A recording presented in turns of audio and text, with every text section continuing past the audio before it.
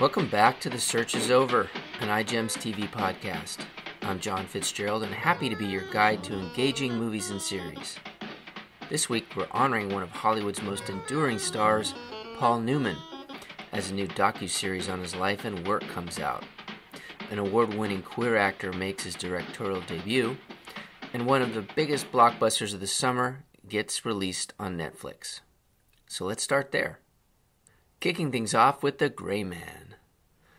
When a shadowy CIA agent uncovers damning agency secrets, he's hunted across the globe by a sociopathic rogue operative who's put a bounty on his head.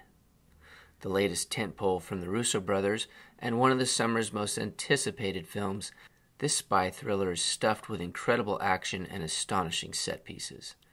Ryan Gosling's stoic hero contrasts perfectly with the wild, psychotic performance of Chris Evans as the sinister villain. Here's the trailer. What do you know about the Sierra program? Reckless mystery men you guys send in when you can't officially send anyone else? The Gray Man. Lloyd. I got an urgent locate and destroy. That could be fun. The man's got some street cred.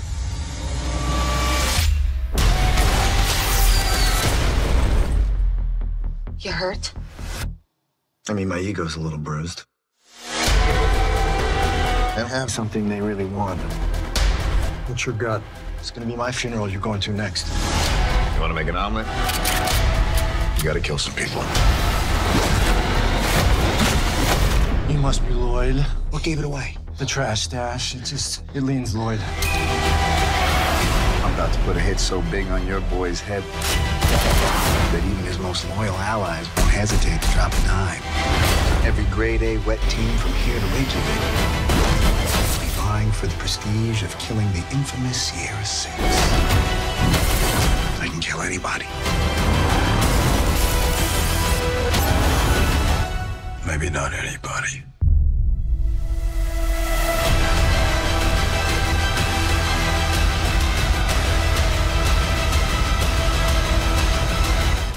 See The Gray Man on Netflix. Next up, anything's possible. Kelsa, a confident high school girl who is transgender, navigates her way through senior year. When her classmate Khal gets a crush on her, he musters up the courage to ask her out, despite the drama he knows it could cause. What transpires is a romance that showcases the joy, tenderness, and pain of young love. Tony Award winning actor Billy Porter's directorial debut is a wonderful contemporary romantic comedy that uses the genre's cliches to push forward a positive portrayal of trans youth and the joys and pains of falling in love. Here's the trailer. Good morning, everybody. Today we're going to paint a portrait. Pick a partner. That's so good. Can I see yours? That is great. Never show my feelings in public. How do you know when you have a crush? I have a theory. First Insta story is the person you're thirstiest for. Mine is Khal. Khal Zuabi. I have a huge crush. What's her name? Kelsa. I don't know what this is, but I like it. It's a pull your hair out, scream it out the window for the whole world to hear kind of deal. Hate when people say I'm brave. You're transitioning so young. I just want to tell you how brave you are. It's not that brave if you're just being who you are. These are for, for, for you. Cole, M likes you. Yeah, well, I like like you. If you don't like me, just tell me. I still want to be your friend. I didn't say that. We could live our own life or spend the rest of our life wondering what if.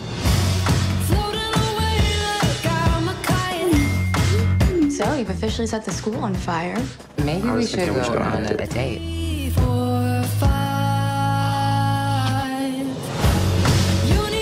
He's only dating you for the woke points. What did you call her? You are my exceptional daughter, and what is unique about you does not make you hard to love.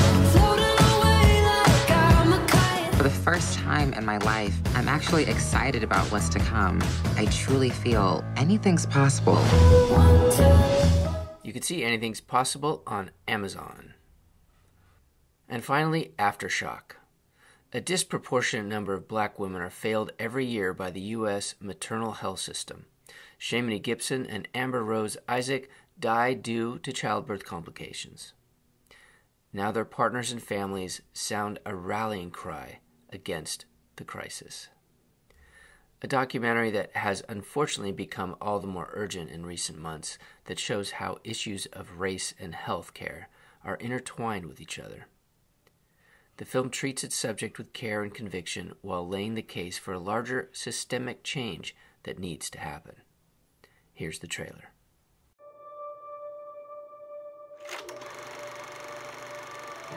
My daughter's story is loud, colorful, and artful. It's a girl! She was awake, aware, and active. And yet she still died. After she gave birth, Shamony was complaining that she had really sharp chest pains. The ambulance came. I'm telling them the symptoms. Is she on drugs? Next set of people come in. Is she on drugs? They kept asking her mother, is she on any drugs? Like, do y'all talk? We waited a solid 12 hours. She's gone. Black women are four times more likely to die than their white counterparts with the same symptoms. Why is that? This is a growing epidemic in our community. Hundreds and thousands of men are going through this same situation. I've never lived in this house without her. You just got to keep pushing forward. I can't let Amber be another statistic. If these numbers were flipped around and white women were dying at the rate that black women are dying, it would be a national crisis. We fight against maternal morbidity event by event in order to create change. We can turn our pain into power and make something of this. Shamony Gibson, we hear you, we see you. I planned on spending a lifetime with Amber. I wanted to give her my life. This way, I'm still going to. The revolution will be tweeted, Instagram, Facebook. This fight is not over. When black mothers die, there's a ripple effect. We call it aftershock. You could see Aftershock on Hulu. On the series side, we kick things off with The Last Movie Stars, a six part documentary series that chronicles Paul Newman and Joanne Woodward's iconic careers and decade long partnership. Through long lost transcriptions of interviews with Paul, Joanne, and those close to them, brought to life by the voices of contemporary actors, the series provides an intimate front row seat to the lives and careers of the couple that would go on to forge an unmatched cultural legacy. Ethan Hawke's docuseries is a detailed and passionate look at Newman and Woodward, carefully showing how a long lasting marriage and collaboration survived years of stardom and diverging career paths. Here's the trailer. Right before the pandemic started, one of Paul Newman and Joanne Woodward's kids approached me to direct a documentary about Paul and Joanne. Paul had begun working on a memoir. They did over 100 interviews. He said to him, Tell the truth. Stuff they would never say if they weren't with friends. What happened to these tapes? He poured gasoline on them and lit them on fire. Wow. Except they had had them all transcribed. I'm trying to turn it into kind of like a play with voices, a community looking back. Laura Linney's gonna do Joanne Woodward. George Clooney agreed to read Paul.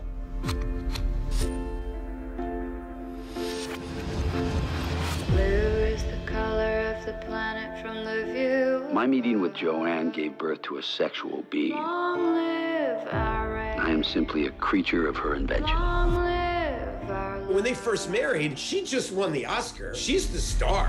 But we're just beautiful people with beautiful problems. And then the trajectory just changed. Beautiful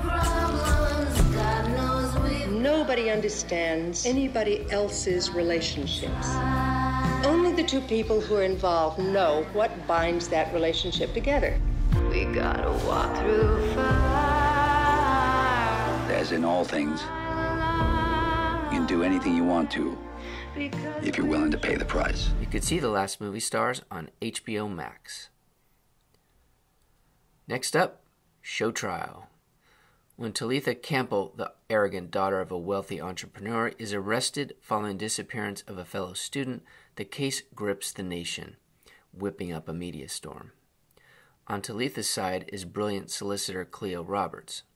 Can Cleo control the narrative of a case that is fast becoming tangled up in the nation's debates over privilege, wealth, and politics? A tense legal drama that illustrates the sharp separation between socioeconomic classes and challenging viewers' expectations at every twist and turn the narrative takes. Here's the trailer. Talitha Campbell, you are now being arrested on suspicion of murder. Anything I need to know? She's a rude entitled Little Cow. Got it. They haven't told you who my dad is. It's that Damien Campbell. I know you think you're untouchable, but you're not. Police have confirmed that they have now made two arrests. I need you to tell me exactly what happened that night. Do you believe me? The jury will hate her. I don't hate her. He's cutting your throat. Won't be decided on the evidence, but on her. You can see Show Trial on Sundance now. And How to Change Your Mind. Author Michael Pollan leads the way in this docu-series exploring the history and uses of psychedelics, including LSD, psilocybin, MDMA, and mescaline. Based on the book of the same name by Michael Pollan, this docu-series engages with psychedelic drugs in an open and frank manner, dispelling decades of myths created by mass media and through the government's war on drugs. Here's the trailer. We've all heard really scary things about psychedelics. They scrambled your chromosomes, they caused you to hop off of buildings. It was all terrifying. So I took a look at the true effects of these substances.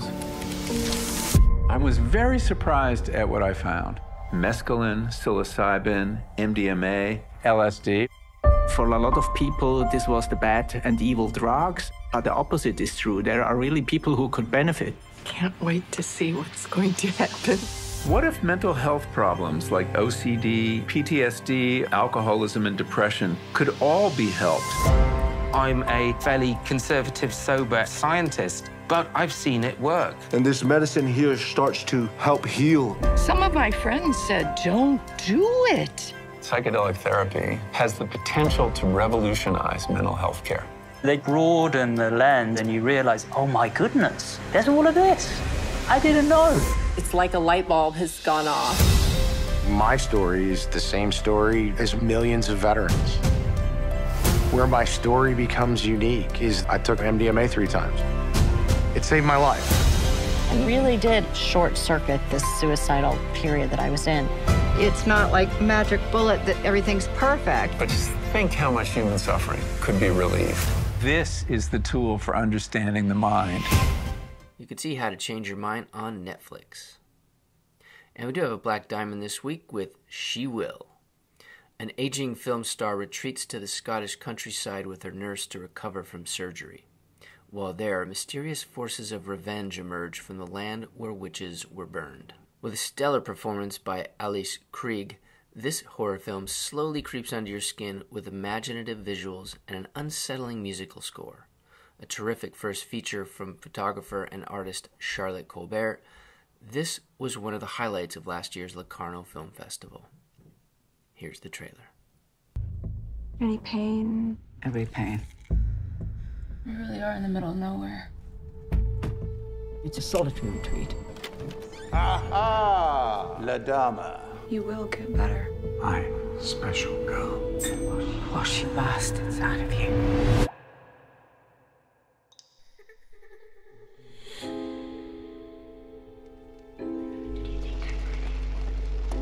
I'm having dark thoughts.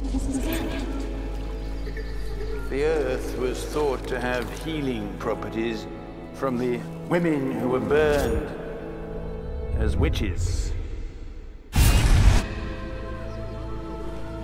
Would you go back and relive your childhood if you could? We had a special bond. Would you?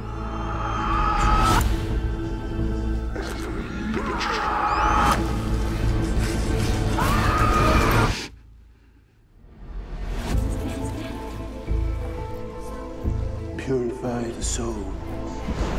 Would you do anything? It would torture you. Ah!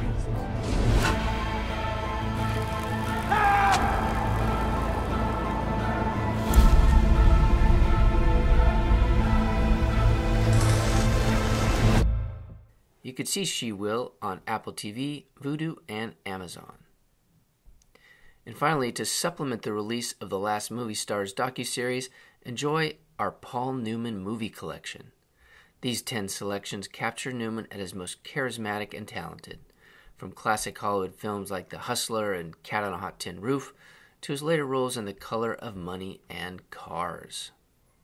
And that is a wrap for the iGems TV Guide this week. Hope you have a great weekend. Enjoy these iGems selections. Until next time, the search is over.